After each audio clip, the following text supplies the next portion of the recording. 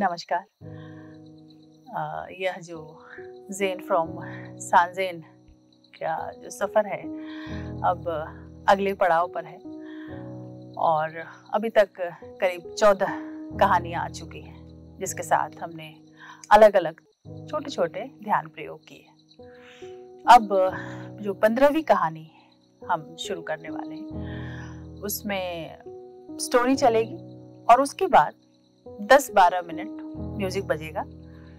और उसके साथ आपको कोई विधि जो ठीक लगी हो या सीधा बैठना अच्छा लगा हो तो वो आपके ऊपर है। थोड़ी देर कहानी सुने और फिर बैठे। जो ध्यान विधियाँ हैं, उसको हम आगे अलग से फिर अपलोड करेंगे। तो Zen story and then sitting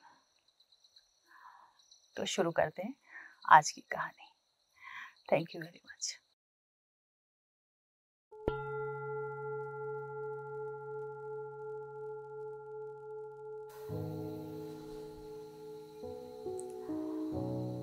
Kamakura काल में जैन गुरु शिंकान ने छः वर्ष तेंदाई की शिक्षा ली और सात वर्ष जैन शिक्षण ग्रहण किया। तब वो चीन चले गए और जैन पर तेरह वर्ष और चिंतन करते रहे। जब जापान लौटे, बहुतों को उनसे कुछ कठिन प्रश्न पूछने की आकांक्षा थी। पर यदा कदा जब भी शिंकान के पास कोई दर्शक आता तो वो बहुत कम अवसरों पर उनके प्रश्नों के उत्तर देते।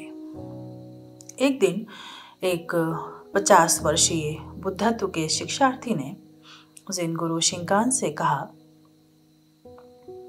जब मैं बच्चा था, तब से तेंदाई के विचार शास्त्र को पढ़ रहा हूँ। पर एक बात मैं नहीं कह सकता। तेंदाई का कथन है कि घास और वृक्ष भी बुद्ध हो जाएँगे। मुझे यह बहुत विचित्र प्रतीत होता है। यह विवाद किस काम का? कि घास और वृक्ष कैसे बुद्ध होंगे? जैन गुरु शिंकार ने पूछा, प्रश्न तो यह है कि तुम स्वयं बुद्ध कैसे होगे? क्या तुमने कभी यह सोचा है? मैंने इस भांति कभी नहीं सोचा। वह वृद्ध चमत्कृत हुआ। तब घर जाओ और इस पर सोचो।